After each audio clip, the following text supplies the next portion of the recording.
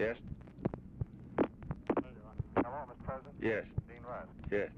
I'm at the operations center here with George Ball and my other top colleagues. We're watching this Congo business. We've just had the first word in that the paratroopers are down, uh, that is on the field, and that three airplanes, aircraft have landed on the field.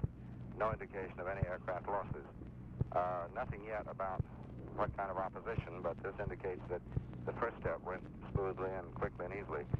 Uh, now, we will um, presumably be getting something more in about local conditions uh, within the next hour, but uh, what is your own wish about uh, being informed uh, later in the night? Yes, I'd like to be called. All right. Well, I'll um, we'll uh, won't bother you on completely trivial stuff, but if anything of any significance at all, we'll let you know. But apparently, the first stage of this went all right. Thank you, Dean. The airport is cleared, and the three planes have landed, and things are moving all right so far. How many planes were involved? Four? Uh, Twelve planes, I believe, in this first first first move. Plus the accompanying T-28s and B-26s that went in ahead of them to be sure there's no opposition.